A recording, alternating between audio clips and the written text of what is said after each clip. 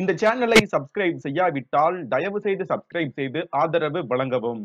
மேலும் செய்திகளை உடனுக்குடன் படித்து தெரிந்து கொள்ள W W W dot Tamilan news dot com வலைதளத்தினை பயன்படுத்தவும். அதிமுக கூட்டணியில் இருந்து தேமுதிக விலகுவதாக அக்கட்சியின் பொதுச் செயலாளர் விஜயகாந்த் அதிகாரப்பூர்வமாக அறிவித்து உள்ளார். இது குறித்து அவர் வெளியிட்டு உள்ள அறிக்கையில் நடைபெற உள்ள இரண்டாயிரத்தி இருபத்தி ஒன்று சட்டமன்ற தேர்தலில் அதிமுகவுடன் தொடர்ந்து மூன்று கட்டங்களாக பேச்சுவார்த்தை நடைபெற்றது.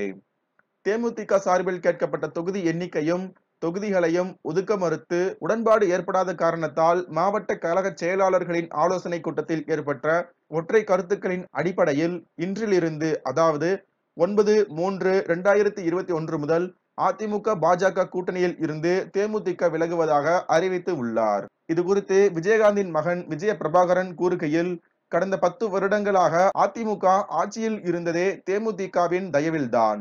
இனி தமிழக அரசியல் களத்தில் அதிமுகவிற்கு இறங்கு முகம்தான் அதிமுக தேமுதிகவிடம் பத்து சீட்டு பன்னிரண்டு சீட்டு பதிமூன்று சீட்டு என பேசினர். தன்மானத்தை கைவிட்டு அதிமுகவிடம் கூட்டணி அமைக்க இயலாது. உள்ளாட்சி தேர்தலின் போது அதிமுக தேமுதிகவினை ஏமாற்றியது.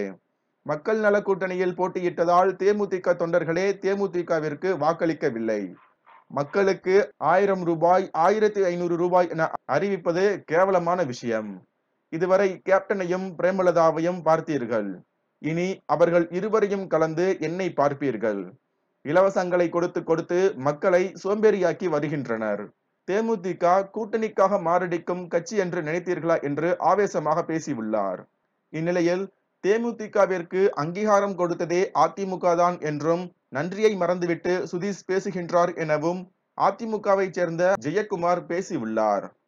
இந்நிலையில் தேமுதிக துணை செயலாளர் சுதீஷ் பேசுகையில் தொகுதி பங்கீடு பேச்சுவார்த்தையில் உடன்பாடு ஏற்படாத காரணத்தால் அதிமுக பாஜக கூட்டணியில் இருந்து தேமுதிக விலகியுள்ளது.